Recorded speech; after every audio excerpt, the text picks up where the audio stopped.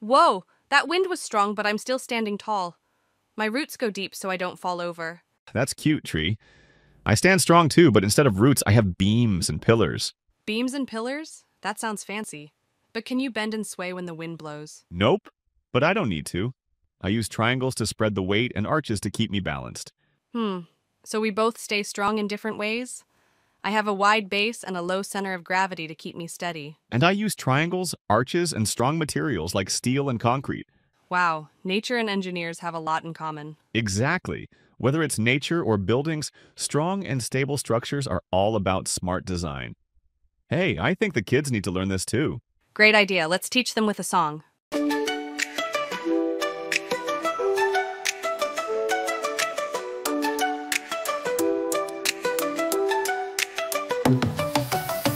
Makes a structure stand so tall? Why do some tip while others don't fall? A strong foundation, wide and low Keeps it steady when winds blow Triangles help to share the weight In bridges, towers, they're first rate Arches spread the load around Making sure it stays safe and sound The center of gravity plays its part If it's too high, the structure stability. Look at trees with roots so deep. Holding firm when storms do sweep. And hills shake to last so long. Nature shows us what is strong.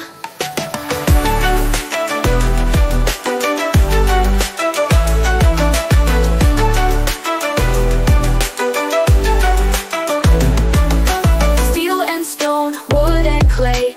Each one built a different way towers, homes and more.